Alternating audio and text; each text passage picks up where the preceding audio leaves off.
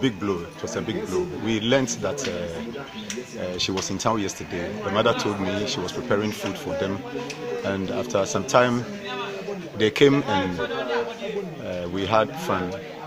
Only to be told this morning that yesterday, when they were going back to Accra, they had an accident somewhere between Bechem and Nyamebetri. So that was that. So how is the family taking the message? Uh, it's not, it's not, it's not easy. It's a big blow to the family, but we have no option. Kama brene. Me dade mu.